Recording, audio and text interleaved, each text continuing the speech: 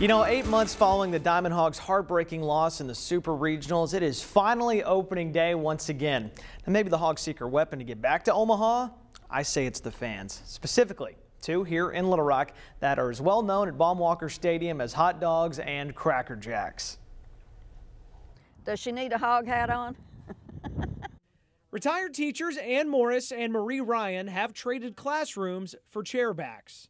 As long as I'm close enough to see, I don't care where I am. Yeah. And they're not afraid of a big crowd, especially in the left field hog pen. It's way out there, but it's always popping. Now, being a fan is not always easy. They've seen heartbreak. It all comes down to one play. And that's what happened. And it was sad. And they've braved the elements.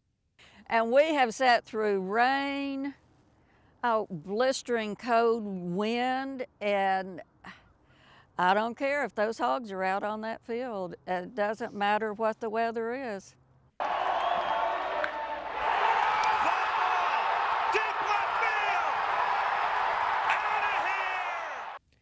Their love for the Razorbacks has nothing to do with home runs or walk-off wins. It's about the relationship with the fans. They're just great men.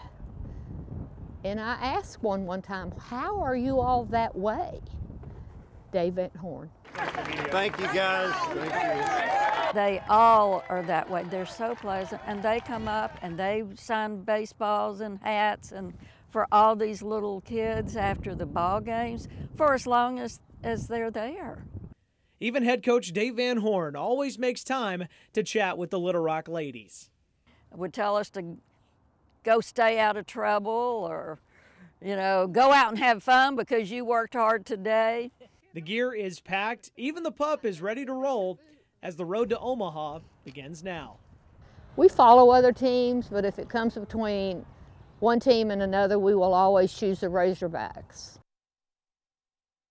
Okay, so get this. Anna Marie will try to not only attend the baseball game today, but they're also heading to the track meet across the street. And there's also a softball doubleheader. So four a total of four events going on Friday. They're hitting them all. They've got a busy schedule. They do. They are like professional cheerleaders at this oh, point. Oh, Ann already texted me and said, we're about to hit the road. We're getting out of here. Oh, my I gosh. said, let's go. Here sound, we go. Sounds like they're having so much fun. I was saying, oh, to be, you know, one of the people that gets to go with them on all these little trips and just the funny things they're talking they about. They have so much fun. Oh, my gosh. And those I players love, love, them. It's the relationship between them and the players. They look at them like, you know, it, it's it's a little cliche, but I mean, it's like family to oh, them. Oh, yeah. Well, no, seriously. It really yeah. is. It's like not even cliche in this point. Mm. Oh, I love that story. Thanks for sharing that, Hayden. You bet.